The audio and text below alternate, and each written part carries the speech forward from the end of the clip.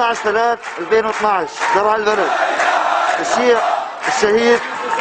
خالد محمود محامي درع البلد